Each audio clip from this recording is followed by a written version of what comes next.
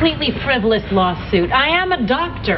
Well, she, she, she gave me a shot in the butt. Wendy!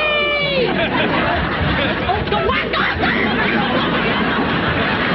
Trudy, these kids just gave me an atomic wedgie. And do you have any proof of this alleged wedgie?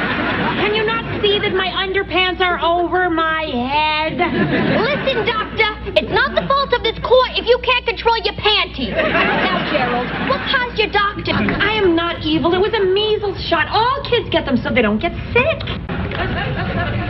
Yeah, yes?